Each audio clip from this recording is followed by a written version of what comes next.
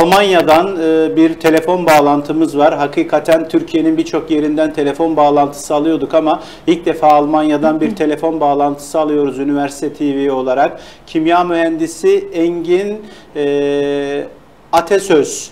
E, doğru okudum umarım. Sesimi duyabiliyor musunuz Engin Bey? E, duyuyorum, duyuyorum, duyuyorum. Merhaba, merhaba. Merhaba, yayınımıza hoş merhaba. geldiniz. Üniversite TV'ye hoş geldiniz. Teşekkür ederim, hoş bulduk, iyi yayınlar. Nasılsınız, iyi misiniz?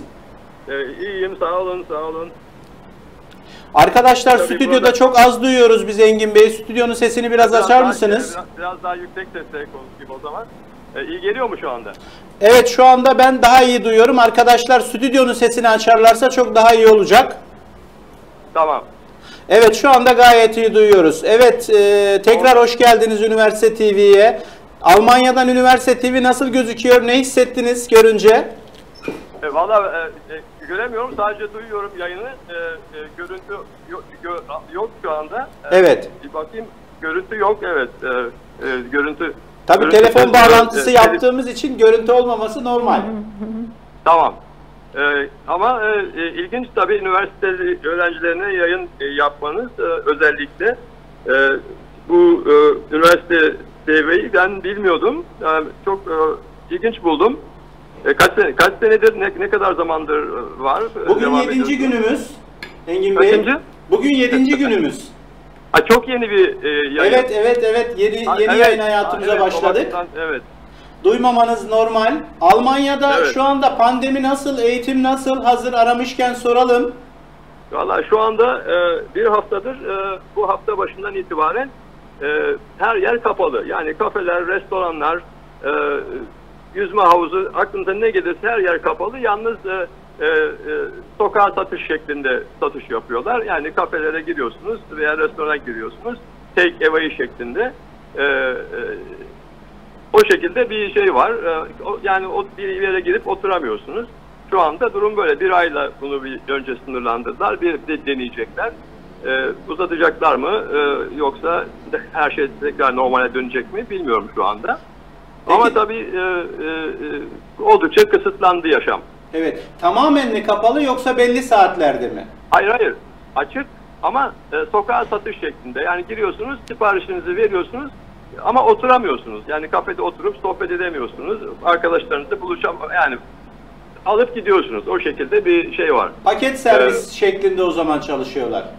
Evet, evet o şekilde bir, bir hafta bu hafta başından beri bu şekilde. Evet Türkiye'de de gece ondan sonra bu tür tedbirler alındı. Peki okullarda durum nasıl? Üniversitelerde durum nasıl? Üniversiteler, öğrenciler online eğitim yapıyorlar.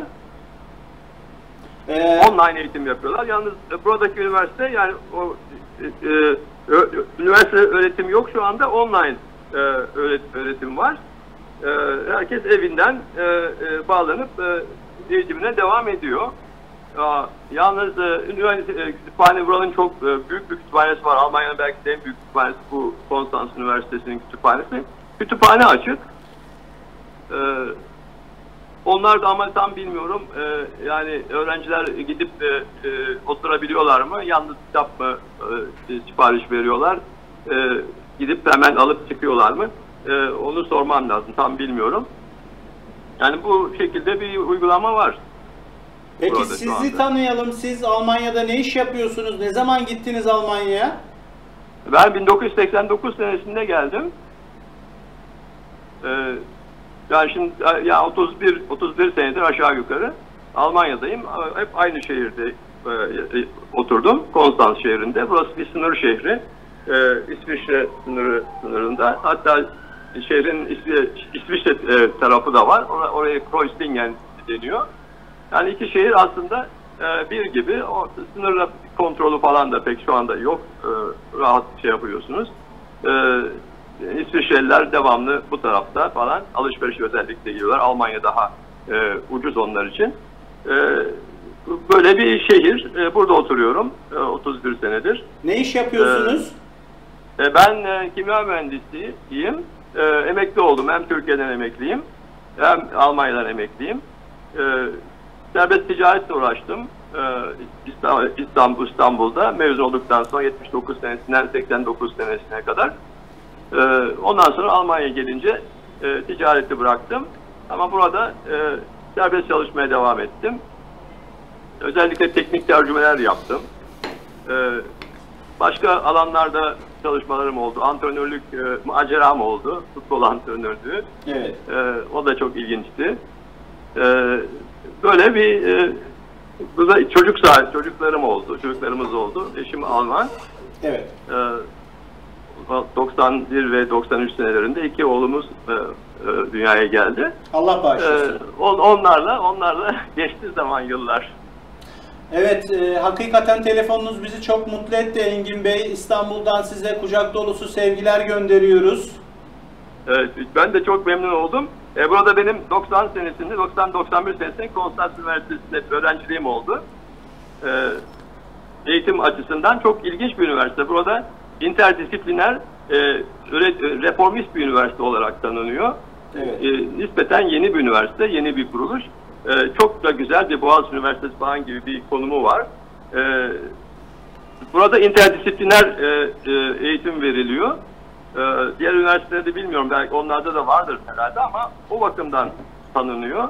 Yani mesela e, bir dal, ana dalınız oluyor, e, alıyorsunuz. Diyelim ki e, Alman literatürü, Alman dili ve edebiyatı.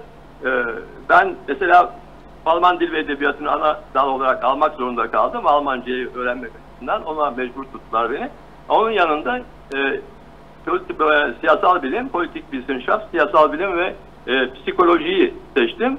E, politik e, psik- e, e, politik psikolojiyle e, e, ilgileniyordum.